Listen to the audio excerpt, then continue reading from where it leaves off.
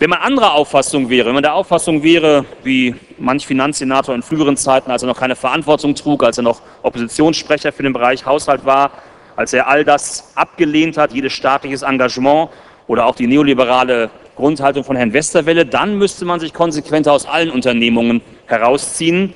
Wir Sozialdemokraten wollen aber erstens, dass die Milliardeninvestitionen der Steuerzahler in den Hafen gerettet werden, denn sie würden im Falle einer Hapag-Lloyd-Pleite verloren gehen. Sie wären Fehlinvestitionen. Und zweitens wollen wir einen starken Staat, der ihnen gezielt Unternehmen hilft, auch wenn damit unvermeidlich unternehmerische Risiken auf unsere Stadt zukommen. Wir stehen aber zu dieser Verantwortung.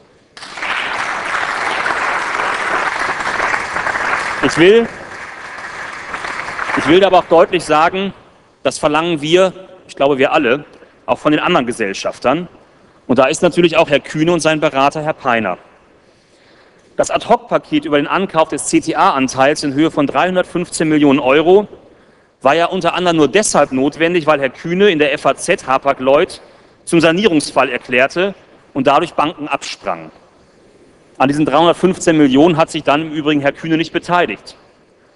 Und ich will auch deutlich für meine Fraktion erklären, dass es schwer erträglich ist, wenn wir hier bei den parlamentarischen Beratungen mit Verschwiegenheitsverpflichtungen und Strafandrohungen überzeugen werden, wenn gleichzeitig ein Privater durch Zeitungsinterviews die Reederei in eine existenzielle Krise hineinredet, ohne dabei jede ernsthafte Konsequenz fürchten zu müssen. Das kann und will ich nicht akzeptieren.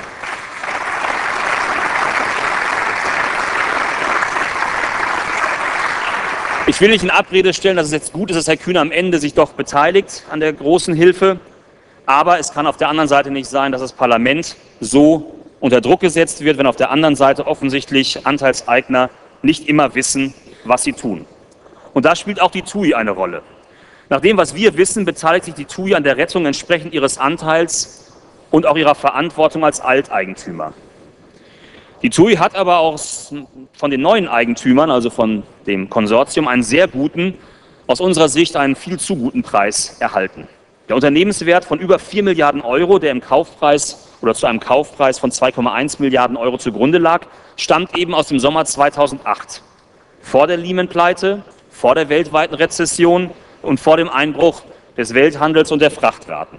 Und da muss sich der Senat, da muss sich Herr Dr. Freitag und auch Herr Gedaschko schon fragen lassen, warum man diesen Unternehmenswert noch im Oktober 2008 und auch noch bei den Nachverhandlungen im Frühjahr 2009 akzeptiert hat. Unsere Hamburger Aufgabe ist es, Hapag-Lloyd zu retten es ist nicht unsere Aufgabe, TUI zu retten. Das wäre, wenn überhaupt, die Aufgabe Niedersachsens von Herrn Wulff, aber nicht Hamburger Aufgabe. Und deshalb, deshalb bitte ich Sie auch, unsere Zustimmung heute zum Antrag des Senates nicht misszuverstehen. Wir haben keinen Verlass und keinen Anlass, Ihrem Agieren und Ihrem politischen Agieren Vertrauen zu schenken. Wir sind in der Vergangenheit bei, der, bei dem wichtigen und richtigen Projekt der Elbphilharmonie mehrfach getäuscht worden. Hinsichtlich der Lage der HSH Nordbank haben Sie im Bürgerschaftswahlkampf, und da halte ich mich jetzt mal an die Sprachregelung des Parlaments, höflich formuliert die Unwahrheit gesagt. Es gibt keinen Grund, dem, dem Kollegen Böver, glaube ich, zu widersprechen. Das war die richtige Formulierung. Ach, in der Sache trotzdem richtig. In der Sache trotzdem richtig in der Sache trotzdem richtig. Und der Freitag hat sogar bis zu dem späteren Zeitpunkt so getan, als wenn alles in Ordnung wäre, obwohl gleichzeitig schon längst die Bankenaufsicht beim Bürgermeister angerufen hatte und von der Schließung die Rede war. Auch die Umstände der Sonderzahlung an Herrn Nonnenmacher sind kein Grund, diesem Senat in irgendeiner Weise Vertrauen zu schenken. Und anders als bei der HSH Nordbank werden auch, und das kann man auch positiv vermerken, eine Senatsdrucksache, die Risiken offen benannt. Es können eben weitere Hilfen notwendig werden. Und wenn die Erholung des Welthandels und der Frachtraten später eintritt als im Worst-Case-Szenario Worst unterstellt, wenn sich die Bunkerpreise erhöhen oder wenn das Sanierungsprogramm nicht realisiert wird oder wenn die Kredite der Banken oder der Bürgschaft des Bundes nicht rechtzeitig oder in der notwendigen Höhe zustande kommen, dann droht noch immer Insolvenz. Es gibt also noch erhebliche Unwägbarkeiten. Trotzdem haben wir uns entschlossen, am Ende Ja zu sagen auch wenn unsere Zustimmung kein Blankoscheck ist. Und deswegen fordern wir aufgrund der Erfahrung mit diesem Senat, dass es angebracht ist, das Parlament regelmäßig und auch sehr kurzfristig über die Entwicklung von Hapag-Lloyd zu informieren. Und zwar nicht nur in irgendwelchen Gesprächen, die mal zwischen Tür und Angel hier auf den Gängen des Rathauses stattfinden, sondern in der Form, in der das Parlament informiert wird. Und das heißt deutlich, mit deutlichen, nachvollziehbaren Vorlagen, beratungsfähigen Vorlagen im Haushaltsausschuss und nicht Telefonanrufen oder Gesprächen hier am Rande von Bürgerschaftssitzungen. Und das erwarte ich auch, wenn Sie mal nicht unsere Zustimmung erforderlich sehen, sondern ich erwarte, dass diese Zustimmung, dass diese Informationen auch dann fließen, wenn sie nicht auf die Stimmen der Sozialdemokraten in den Ausschüssen oder der Bürgerschaft angewiesen sind.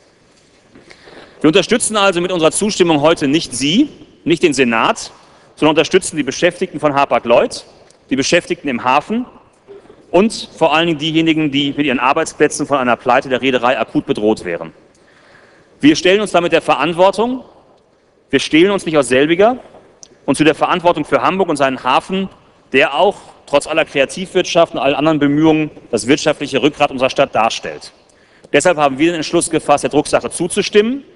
Ich weiß zwar, dass ich die Hoffnung kaum hegen darf, dass der Senat vielleicht sein Verhandlungsgeschick uns gegenüber verändert. Ich appelliere aber trotzdem daran, uns in angemessener Weise zu beteiligen, zu informieren. Und Sie können sich, na weder Sie, weniger Sie, aber die Menschen dieser Stadt können sich darauf verlassen, dass in den wichtigen Grundentscheidungen dieser Stadt Sozialdemokratinnen und Sozialdemokraten zur Geschichte unserer Stadt stehen und zu unserer eigenen Geschichte stehen. Auf uns ist Verlass. Vielen Dank.